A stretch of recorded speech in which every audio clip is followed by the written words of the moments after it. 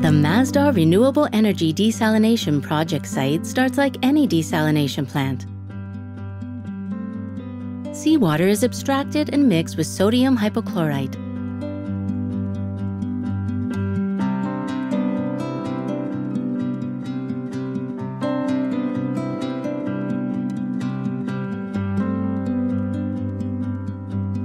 and then pumped to a break tank.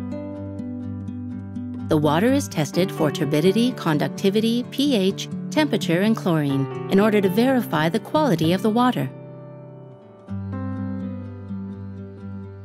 It's then distributed to our four partners, varying from 10 cubic meters to more than 100 cubic meters per hour, based on the requirements of the particular plant, hence the different sized pipes.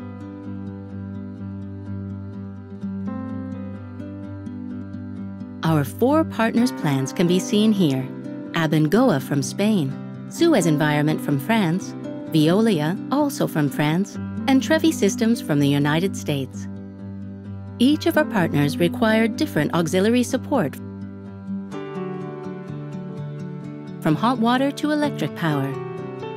We also have a site office for our partners to use, including on-site laboratories and a conference boardroom. Abengoa, Suez Environment, and Veolia use reverse osmosis technology, whereas Trevi Systems uses forward osmosis. Let's take a closer look at our partners' plants. Closest to our pump station is the Veolia plant. They're running a reverse osmosis system and state-of-the-art membrane technology and have a special center port configuration. A combination of dissolved air flotation and a gravity dual media filter in a single unit reduces pressure loss and required civil works. They use Osmorix energy recovery device, which uses energy from the brine to pressurize the feed, lowering the required energy for feed pressurization. Next to them is the Suez plant. They too also use reverse osmosis technology, they further treat the brine with liquid ionic membrane technology, leading to an increased recovery ratio and reduced electric energy consumption. They, like our next two partners, have a requirement for hot water. The heat is used for the brine treatment process. It is produced on site by a large boiler and provided by Masdar. Past the boiler and next to our potable water tanks is the plant of Trevi Systems. Different to the other partners, they are running a low-pressure forward osmosis system. This emerging technology promises high suitability for challenging feed waters.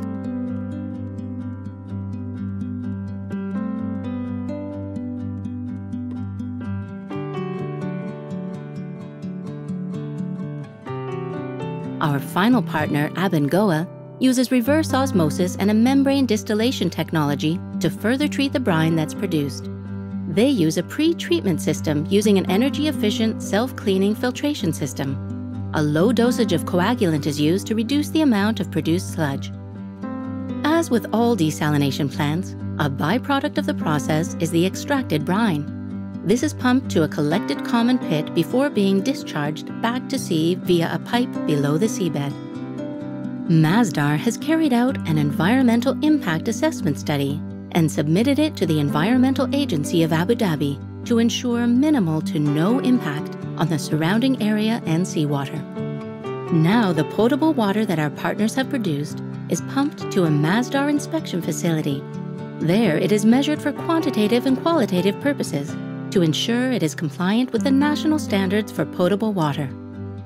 Finally, it is collected in a common potable water tank and from there distributed to the potable water network.